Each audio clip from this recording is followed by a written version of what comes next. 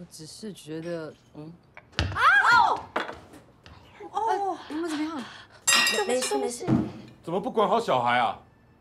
管不好就不要带出来吃饭啊！哦，对不起，凶什么呀？对不起，没事，没没怎么样。好啊，现在所有人都被打扰到了，我真不知道你这妈妈是怎么当的。现在是关你什么事啊？球是砸到你还是砸到我？啊？哎，你这个人莫名其妙哎！你为什么要骂妈妈？妈妈是圣人吗？妈妈不能有意外吗？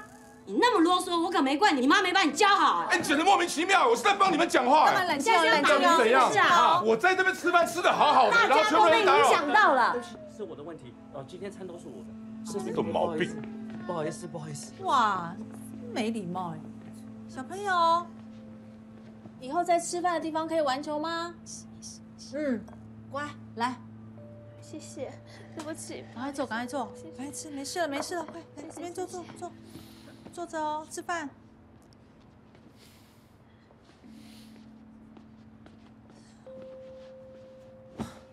王女士，很帅耶你。你的没礼貌也很帅啊。但你刚刚说的是你的心声吗？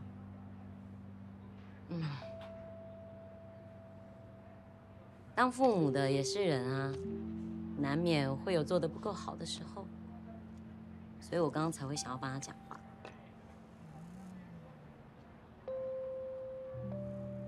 我知道你可能觉得小勇是一个很棒的对象，我对他也是一样的看法。你担心我伤害他，但是如果我真的勉强自己跟他走进婚姻的话，那才会是长久的伤害。可是，难道你不会想要找个人陪你一起变老，然后有人分担你的烦恼，互相照顾吗？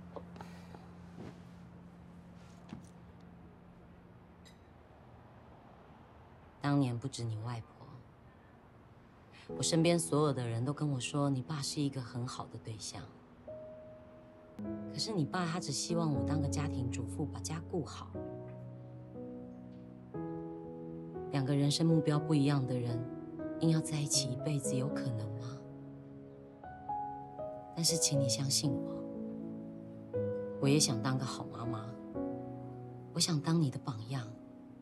我的意思是说，我以身作则的方式，就是希望让自己快乐起来。我希望你可以学我，让自己快乐。